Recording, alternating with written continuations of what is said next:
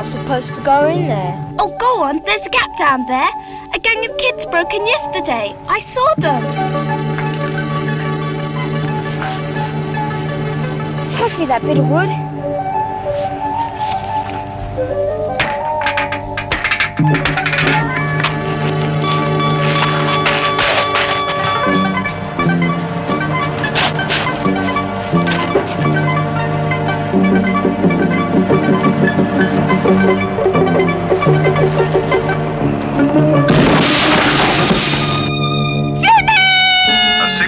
66,000 volt shock killed a boy today when he broke into a substation. The electricity board warns children to keep away from substations.